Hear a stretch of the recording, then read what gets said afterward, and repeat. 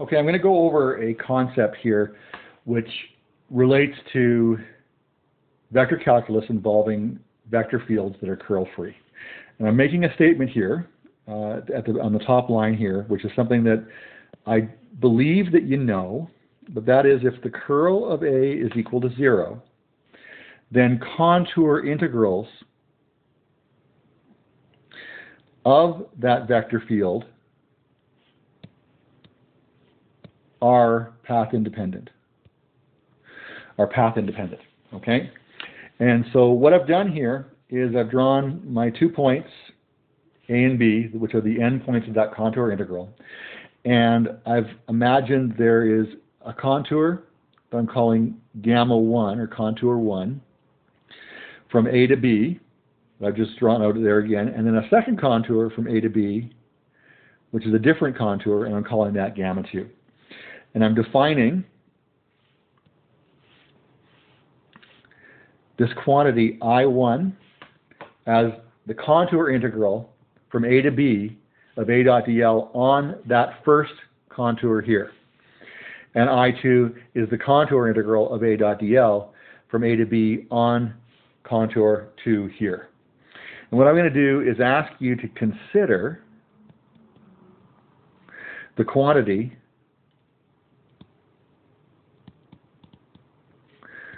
I1 minus I2. Okay, that is I1 minus I2. Now, if I look at that, again, I've got my first point, my contour 1, my first point, and my contour 2.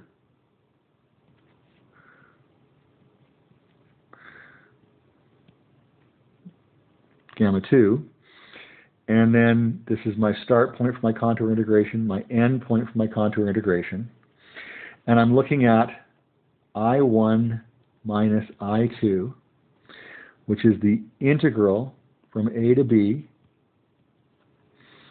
of A dot dl on contour 1 minus the integral from A to B of A dot dl on contour 2. And if I have minus a definite integral, I can make that a plus the same integral, but with the endpoints reversed, right? So I take the endpoint and make it the beginning point, and the beginning point and making it the endpoint.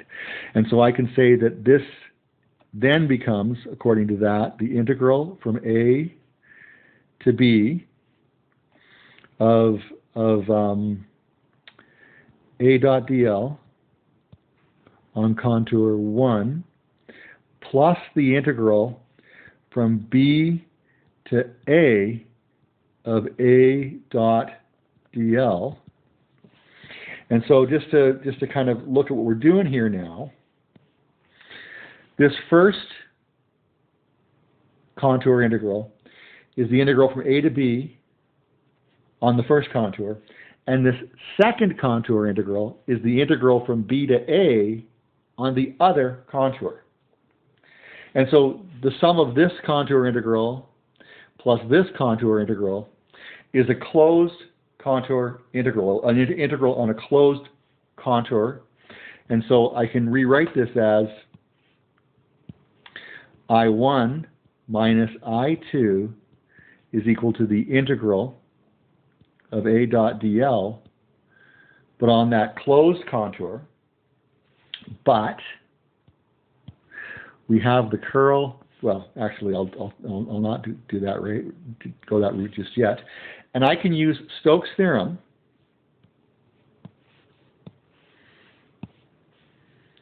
I can use Stokes' theorem to write that as the integral of curl of A dot dA on any surface bounded by by that closed contour. And so this that equal the it, it, the contour integral being equal to that surface integral of the curl.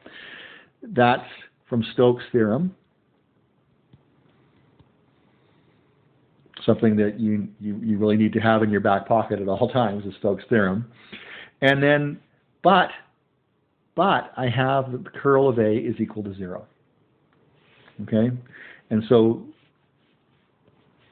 therefore, if the curl of A is equal to zero, I1 equals I2.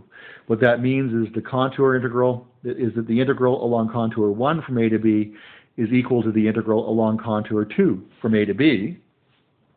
And since I haven't said anything about the contours, that means this, this is general.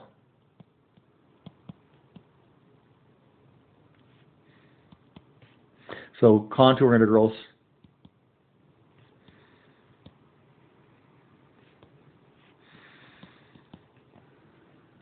are path independent if curl of A is equal to zero. Okay? So, going on to the next point here, I'm going to make a second statement, and that is if the curl of A is equal to zero, then, then I can represent that, that vector A as the gradient of some scalar function. I can find some scalar function, in fact, an infinite number of scalar functions, but some scalar function whose gradient gives me the vector field A. And so, how do I know this? Well, I'm going to I'm going to start off with um, with uh, asking you to consider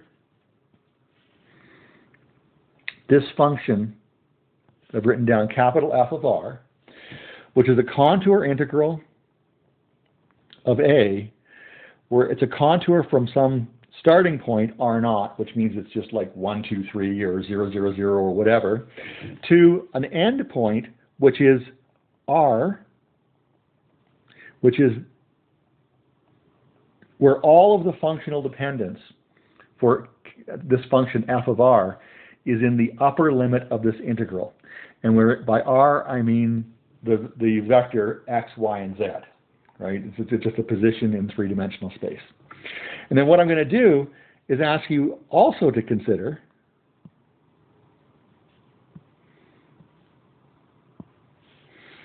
the first partial derivative of f with respect to x. And I'm going to write down that that is equal to the limit as h goes to 0 of f of x plus h y z minus f of x, y, z over h.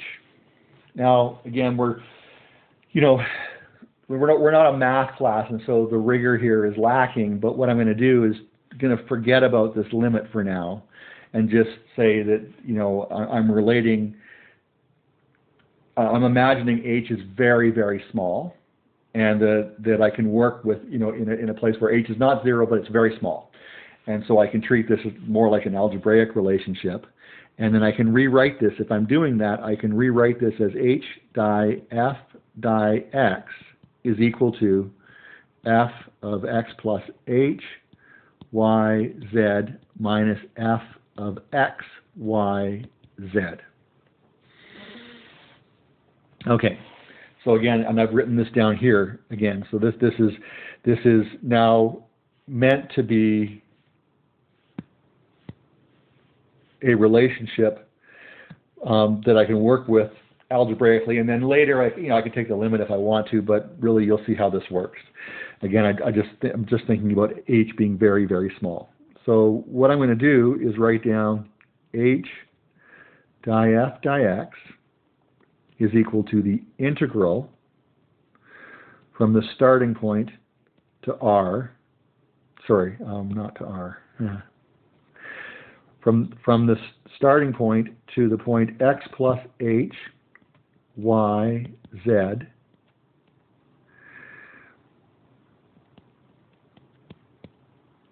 a dot dl, minus the integral from that starting point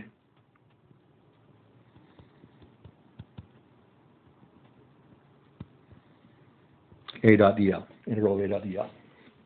And you know that that um, I can flip you know, you, you know, I, I, you, you'll you'll know this from uh, basic calculus that if I integrate from x naught to a, subtract from that the integral from x naught to b, that becomes the integral from b to a, um, you know, of f dx, right? And I can do the same thing here and rewrite this as the following: the integral from x, y, z to x plus h, y, z, a dot dl.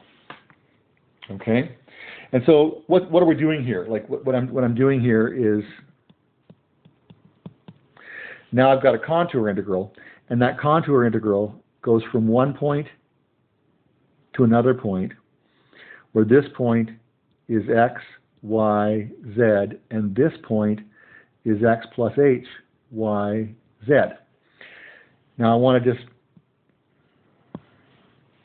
say, and also remember that the curl of A is equal to zero. Right? And that's, that's in, in, fact, if you think about it, that's the only reason why I can have this function f of, of r, uh, because, because it, it, doesn't depend, you know, there, there's no dependence in the path that I take that contour integral along. And so I can, what I'm, what I'm saying is I can take this contour integral along this contour, I could take this contour integral along this contour. I could take it along this contour, and they give the same value for each of those contour integrals. But in fact, the one I'm interested in here is I'm actually, even though this is perfectly general, I'm free to pick the contour that I integrate along. And for this, what I'm going to do is pick the contour um, that follows the x-axis from the one point to the other. That distance is h. And then on this path, dl is equal to dx times x hat, and a dot dl is equal to ax dx. Right? So I'm going to follow this path, and I'm looking at this integral here. And so what I'm going to do is, is go to the next page here, and what I have is, make sure I get this right, I get h di f di x is equal to the integral from x, y, z to x plus h, y, z of ax dx. Now, if and that's going from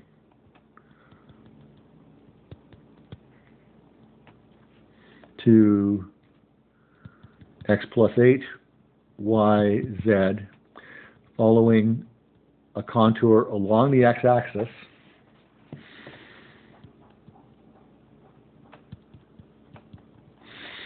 And that distance, that distance is h. Now, and if I make if I, if I make h really small,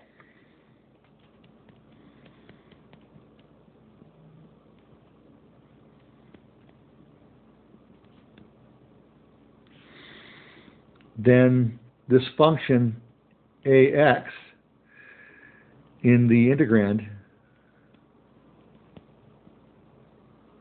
does not change much.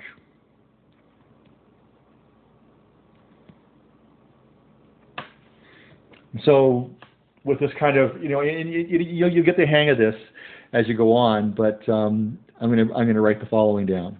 H di f di x is equal to ax times the integral from x to x plus h dx. And this integral, this integral here is equal to h. And so what that tells me is h di f di x is equal to h ax or di f x is equal to AX. Now I can do the same thing for di I can do the same I can do the same thing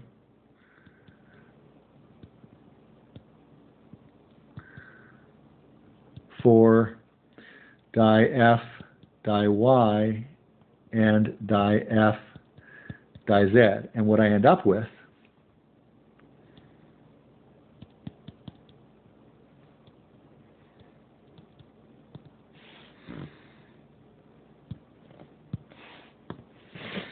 is the following.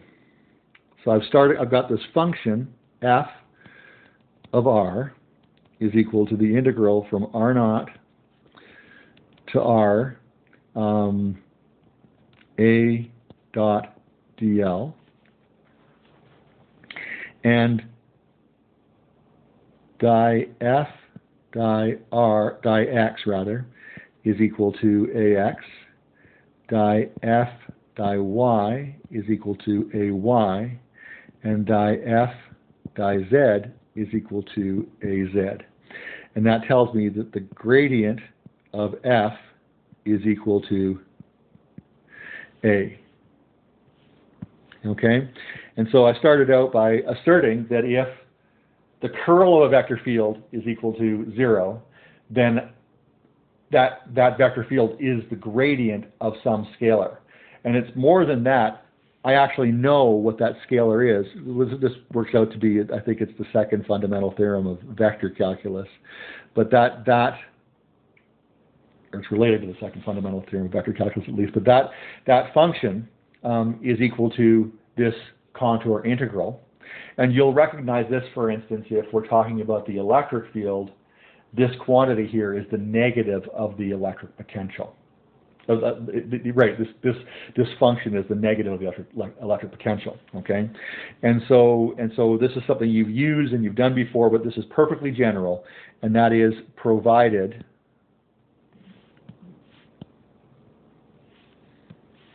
provided curl of A is equal to zero. And this is something we're going to use over and over again. I'm not going to make you regurgitate this, this um, this derivation on a test, but I think it's good to work through this a few times and to see where this comes from and to see that this is actually, it's actually quite rigorous if you follow it through. And I will see you guys in class tomorrow.